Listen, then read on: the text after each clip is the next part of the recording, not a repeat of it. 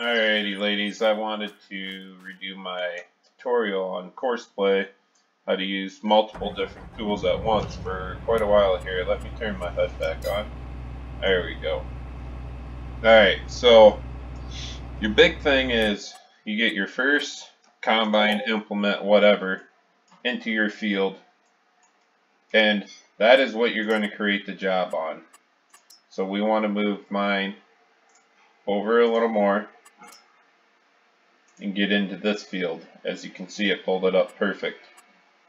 And then we are going to open up the course generator, multiple tools too.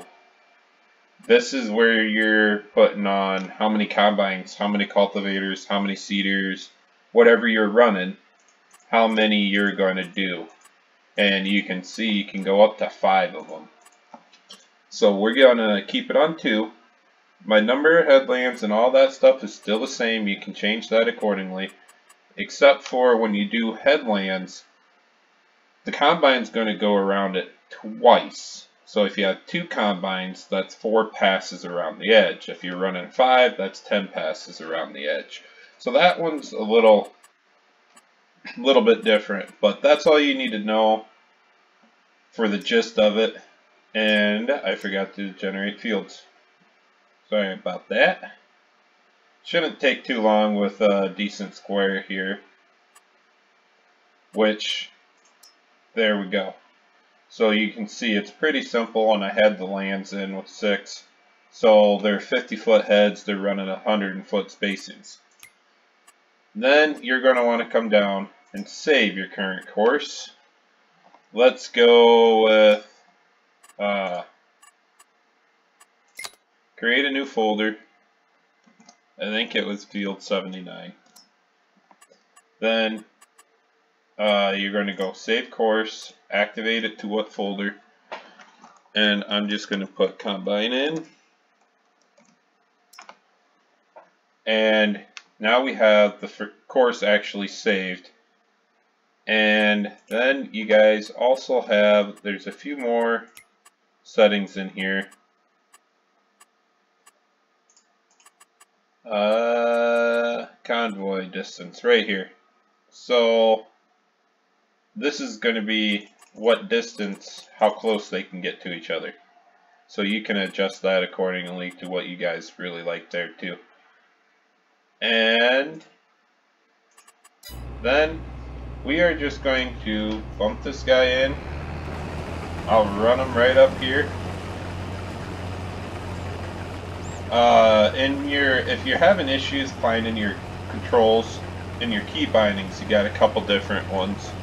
So I set mine up to control D, will bring up my course play, because I didn't like it with loader and loader attachments being on my right mouse button.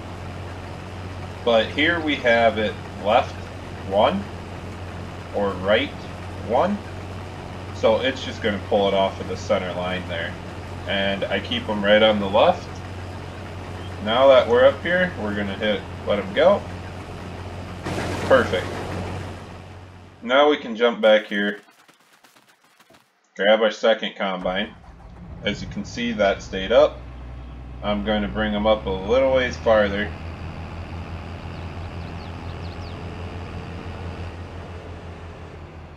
And as long as you do not have a course in, if you did, you'll be right here to clear current course. Then you're going to go and hit load course.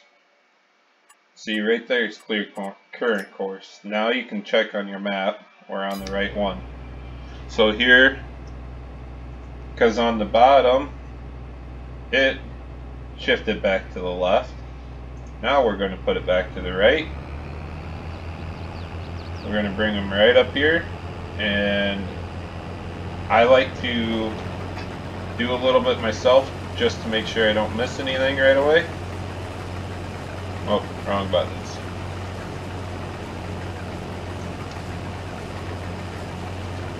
Get them in there a bit, then you can let them get going.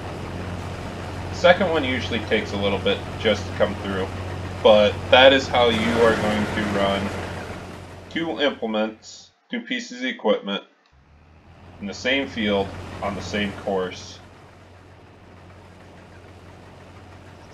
And I suggest to usually leave them a little ways back so that way you can make sure they're not running into each other and fighting each other on the corners. Thanks for watching, and until next time.